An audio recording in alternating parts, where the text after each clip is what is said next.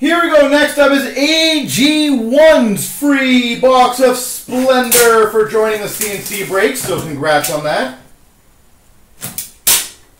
Bum bum bum bum. Oh, I think you'll like this if you're a Leaf fan.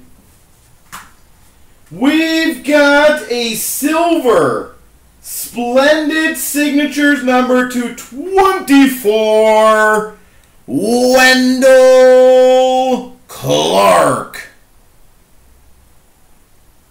Only downside is the camera's going to be hard to focus on some of these because of the uh, reflection. I know it's a, the sun will not help that, but Wendell Clark autograph at a 24. There you go, sir. Congrats, AG1.